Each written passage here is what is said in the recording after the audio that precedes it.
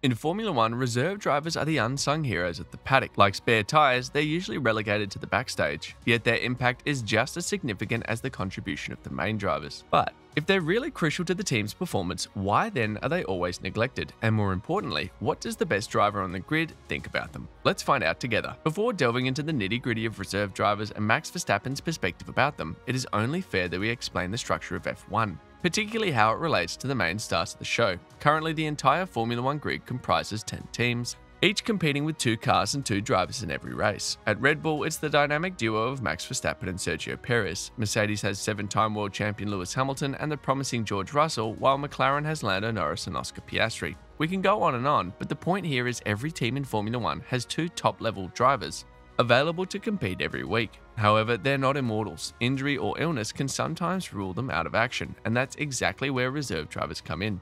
Essentially, reserve drivers served as backup to the main drivers. They attend every Grand Prix and are always ready to fill in for the lead drivers if necessary. For instance, at the 2022 Italian Grand Prix, Nyck de Vries replaced Alex Albon due to appendicitis. Similarly, at the 2023 Dutch Grand Prix, Liam Lawson filled in for Daniel Ricciardo after the Aussie driver broke his wrist. More recently, Ferrari drafted Oliver Bearman to replace Carlos Sainz, who had to undergo surgery for appendicitis. In each of these situations, the reserve driver was a young prospect from the F2 or other feeder series. De Vries was 21 years old when he made his debut, and Bearman was just 18 when Ferrari called him up.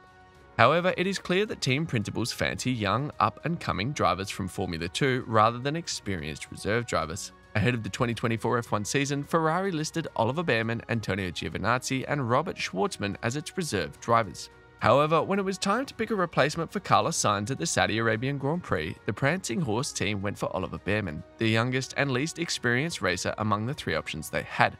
Hypothetically speaking, there are a few reasons for this decision. The first one is that most reserve drivers have other commitments outside Formula One. For instance, two of Ferrari's reserve drivers actively race in the FIA World Endurance Championship. This means that even if Ferrari wanted either of them to replace Carlos Sainz, they'd need someone to replace them in the WEC as well. Fortunately, the WEC typically operates with three drivers per team, ensuring there's always a backup available if one is called up to F1. Ferrari knew this option was available, yet it chose to race with Oliver Bearman. Some argue the timing was right, which is understandable, but the disregard for more experienced reserve drivers is too obvious to ignore. Before we go any further, please hit the like button to support our channel. Now back to the video. The last experienced reserve driver to replace a lead F1 driver was Robert Kubica, who stepped in for Kimi Raikkonen back in September 2021. Kubica was 37 years old at the time and only got the opportunity to replace Raikkonen because the Alfa Romeo racer was down with COVID. Since then, the landscape has shifted dramatically in favour of young drivers. Everyone seems to be looking for the next Verstappen, the next Lewis Hamilton, and the next Michael Schumacher. To be fair, this approach isn't necessarily a bad one. After all, if Verstappen and Hamilton hadn't made their debuts so early in their careers, they might not have become the exceptional drivers they are today. Nevertheless, as we seek out the next rising star in Formula One, we must not neglect the old cats as well. The famous argument that most people have put forward is that despite their inexperience, the rookies have performed well when given the opportunity, and that's true. To put it in perspective, De Vries secured a commendable ninth place finish on his debut, while Bearman clinched a respectable 7th position in his first ever F1 race. This highlights their talent and potential to compete among the elite ranks. And perhaps with a little more support and opportunity, they could go on to become world champions. Speaking of support, Max Verstappen is one of the people on the grid who is always showing love to young and upcoming drivers. In his post race interview, Lawson briefly discussed what Max Verstappen said to him ahead of his F1 debut. Max has always been really, really good to me, Lawson said. I see him all the time, and before the race, he gave me some really nice advice as well. Just don't overthink it and try to enjoy it. Similarly, after Oliver Bearman's fairy tale debut in Saudi Arabia, Verstappen also had nice things to say about the young British driver. What Ollie has done has been very, very impressive, said Verstappen. I watched his first few laps in practice because that is where you can judge if someone is comfortable in the car, and by lap 2 or 3, I thought, that is a strong start, and to be 11th, and only 6 tenths off pole at the time, is more than you could have asked for. He has done an incredible job. It's always great for reserve drivers to receive this kind of love and support from an established racer like Max Verstappen.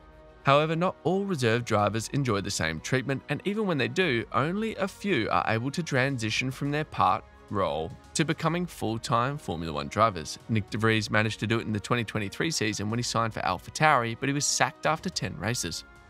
Although a slightly different scenario, Mick Schumacher is another young driver who has struggled to secure a full time Formula One seat.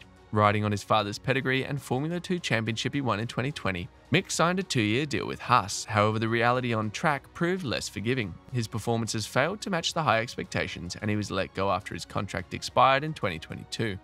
Ever attuned to the trials and triumphs of young racers, Verstappen quickly reached out to the German driver. I talked to Mick a bit, Verstappen said. It is not the end. It's very unfortunate, of course, but he is still young. I hope he gets another chance after next year. Once again, it's incredibly reassuring to hear such affirming sentiments from a world champion. However, the manner in which Nyck de Vries and Mick Schumacher were axed from their teams tells you everything you need to know about the fierce competition in F1 and how difficult it is to secure a full time seat in the sport. For reserve drivers, the uphill battle is even steeper because they don't get enough opportunities to showcase their talents, yet they're expected to show up at every Grand Prix and practically follow the same rigorous routine as the main drivers. While speaking to The Athletic, Alexander Rossi, a former reserve driver for the Marussia F1 team, explains how this scenario works. It's not often that the reserve driver comes into play, Rossi admitted. But ultimately, you go into the weekend preparing and participating as if you're going to race the car. You go to all the same briefings, you go to all the same meetings, you do the track walks, you train with the same physio, you eat the same food, you're on the same schedule. Speaking further on the subject, Rossi reveals what he does to ease the boredom and frustration of being a makeshift driver. So while the guys were doing the cool things and driving, you're sitting either in hospitality or on the pit stand drinking your cappuccinos, playing Candy Crush. Beyond their cameo appearances in Formula One, reserve drivers have other responsibilities as well. Sometimes they represent their teams at demos, PR events, and free practice.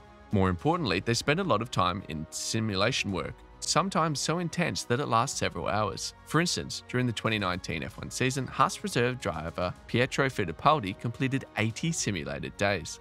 According to the Brazilian racer, each session starts at 8am and runs all the way to 6pm with two or three breaks in between. Recounting his experience during this hectic period, Fittipaldi said each of those days you do from 100 to 150 laps.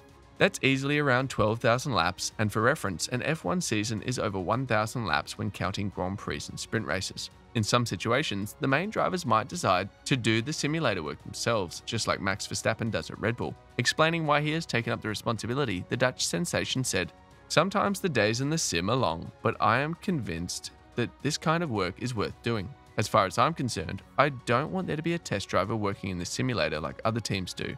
I want to work on it myself because everyone has their own driving style. It helps me keep my concentration. After all, there's not much to do at home other than train on the simulator, plus it's something I enjoy.